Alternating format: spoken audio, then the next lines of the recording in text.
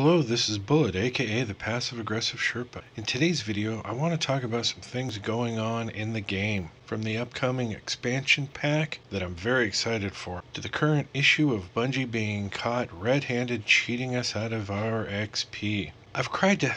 I've cried. I have cried. A lot, actually. But not about this. I've tried to cut back on a lot of my criticism of Destiny 2 for a few reasons. Some of those reasons to follow. I hate being negative. I'm good at it, but I hate it. There's so much about Destiny 2 that I love, but there's a lot that drives me crazy. I'm not a fan of Bungie, the company that makes Destiny. I want to be. They seem like good people, but they've made some decisions in Destiny 2 that were just flat out ignorant and seemingly without thought. And with the recent XP debacle, it only further justifies my feelings towards them. It's just that I don't like hearing people complain, at least most of the time. I feel like if you hate the game so much, don't fucking play the game. However, I too have complained about it, but I do so because I love the game. I, I always explain why. I want the game to be better. I've always tried to make that clear in my videos. I think there's a few things that are responsible for Destiny 2's less than amazing run thus far. One of those reasons being the community itself. From the time the beta was released, many of the big Destiny gamers were not being honest about the Destiny 2 beta. I think many were just so happy to get new stuff that they were blinded by it. It was flashy and new but few of these gamers came out and talked about the flaws they saw. I ranted about many of these things that I thought sucked in the beta. Some of the things I thought were going to suck actually turned out not to suck. But most of what I complained about turned out to be dead on accurate. I, I even seemed to upset a Twitter friend over that review. She completely disagreed with it. It's understandable, and I don't blame her.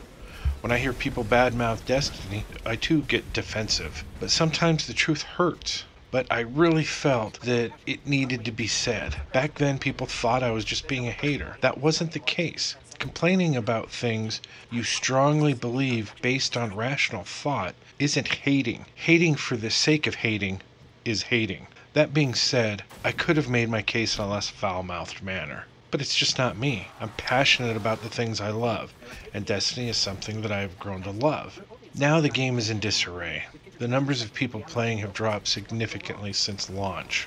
I saw it coming, no one listened. But I have continued to play Destiny 2 because despite despite Jesus, I cannot talk this morning. But despite its serious fuck ups, there's just so much I love about the game, and I'm still hopeful for it. So let's get the negative out of the way first and talk about this XP crap that's going on. As I understand it, it normally takes about 80k worth of XP to rank up one time. Each time you rank up, you get a bright engram. Fun, paid stuff that you don't have to spend cash on. Sweet. Of course, now Bungie is saying that it takes 160k to rank up. I could be wrong, but I believe it's a pretty well known fact that it, it averaged about 80k in the past. So it's just another shady thing I find terribly frustrating. But here's the problem Bungie had been throttling your XP. For those that play all fucking day long, we got screwed the worst. I started to wonder about this before it became an issue. But simple me, I figured it was just a glitch in the matrix, and I let it alone. But I had noticed on several occasions that my XP bar just would suddenly stop moving. I mean, after two hours of playing and it didn't move, or barely moved.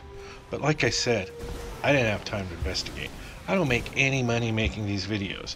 Nothing is monetized yet. I'm still trying to figure out the best way to go about it. My primary goal has been to try to create content that I want to make and that I hope others will enjoy and maybe someday feel worthy of supporting it. So I just didn't have time to focus on it. And like I said, I just figured it all had to do with tracking and server stuff and that it would eventually work itself out, so I let it go. Then about a week later, the topic blows up. I missed out on that boat. I have mixed feelings about this because I feel as though Bungie has stolen from me. Why? Because I have paid for bright engrams and I was able to collect a lot of Fireteam medallion medallions. I've spent all kinds of, of bright dust on those things.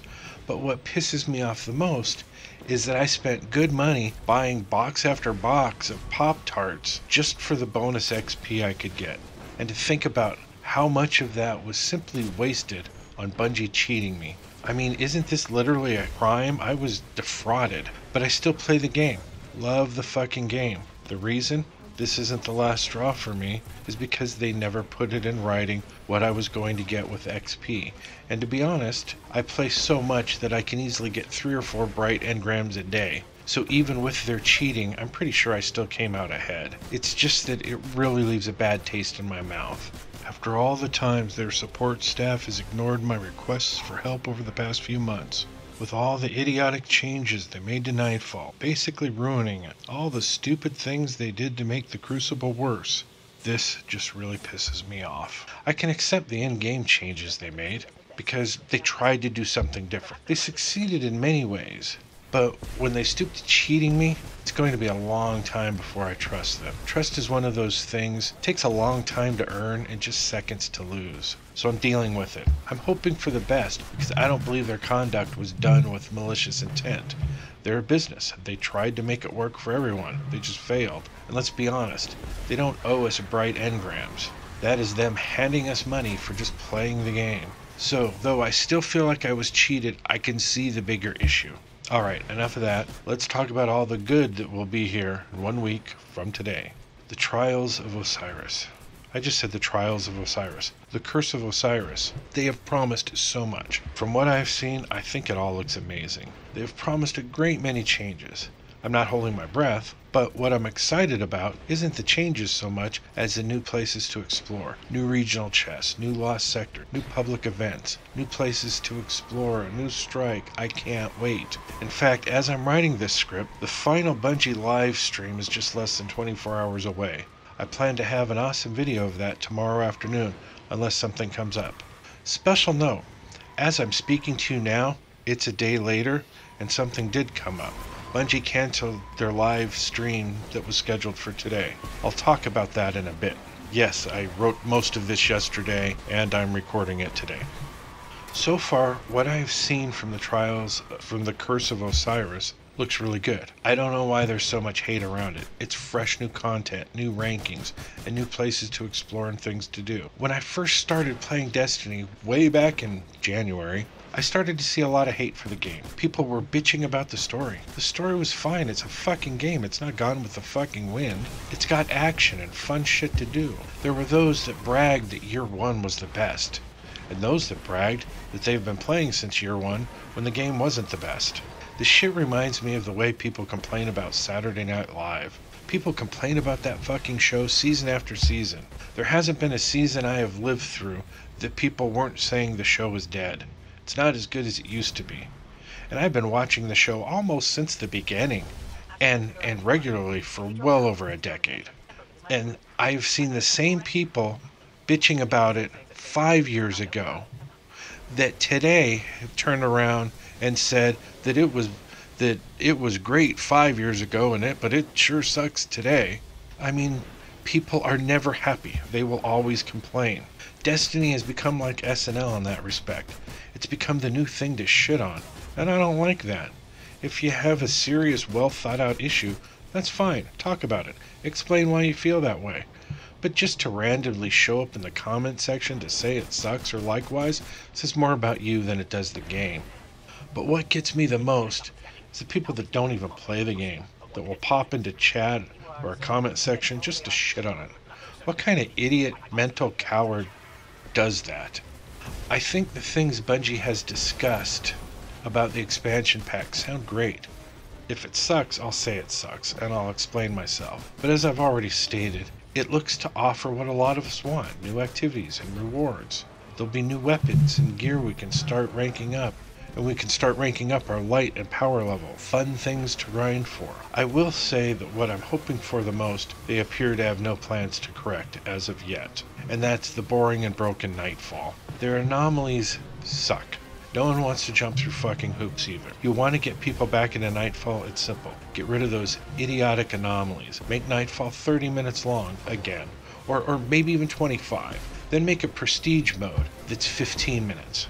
Bring back the occasional burn modifiers and primary, special, and heavy modifiers. Sorry, kinetic, energy, and power modifiers. Make it something that is fun for clans to actually do together. And at the same time, give us solo players at least a fighting chance to solo it. There used to be at least a dozen people every week that soloed Nightfall. I'd watch several of their videos. Every week they'd solo it, and it was inspiring. It made me want to do it. And I eventually got to the point where I could do it almost every week. Now, of those dozen or so people, I only know of two, maybe three, that solo it every week. For the rest of us, it's near impossible. And that just takes all the fun out of it. Hell, Planet Destiny used to make a hilarious video every week of them running Nightfall. Haven't seen them do it in weeks now, because Bungie has taken all the fun out of Nightfall. They've sort of turned many of these strikes into mini raids. There's two reasons I don't do raids. One, I think they're boring and they suck. I have no desire to really learn the mechanics of them because it's just not fun for me. Two, I don't have a reliable group to run the raid with. I can tolerate guided games for the 20 minutes it takes to run Nightfall, but to be stuck in a room with five other people I don't know for what could be hours and hours, I will probably never do that. Sure, I could meet some decent people, but chances are I'll meet some people that I'll never play with again that will do nothing but annoy me, and now they'll be stuck on my friends list because it's just easier to add someone than to say, no thanks, you annoy me. The old me would be that brutally honest, but this is the kinder, gentler me. Sorry, I went a little off topic here. My point is that there, there, are many great things about Destiny 2. I don't expect it to be Destiny 1. If they don't fix Nightfall, I can live with it. There are other things in the game I love to do it would be a shame, and not doing anything about it would be a huge mistake, in my opinion, because it's just not fun anymore. It's tedious. So now we come to the live stream that got canceled. Oh, how that pisses me off. There's no reason to cancel the live stream. They could have done what they could have done was extend it spend an additional half hour or hour talking about what they plan to blog about. It's just another bad decision by Bungie. Look, I think it's great that they're taking the time to address some of these issues. I think it's important that they that they start to publicly address this stuff. They need to earn their credibility back. But maybe canceling their scheduled live stream isn't the best way to come out and say you can trust us if we can't even trust you to keep your schedule. Now, instead of reporting back to the 2.5 people that might actually see this video or the the one that I had planned to make about the live stream later today and all the cool things to come, I have to report about all this boring endgame bullshit. I get that they're trying, but it doesn't come off as trying to me. It comes off as desperation fueled by panic. There's no reason they couldn't do both. It doesn't instill confidence in me when they can't even start to make amends without screwing it up. But I will be waiting for their blog post or whatever the hell they're going to do, and I'll report on what they say in a quick update later this afternoon or tomorrow, depending on when they decide to publish their info. I just don't want to waste any more time on this crap than I have to. I just want to put out fun gaming videos and not waste my time complaining about what stupid thing Bungie did now and how again they said they're listening to us. Just make the game better and do what you say you're going to do. Problem solved. Anyways, thanks for watching this video.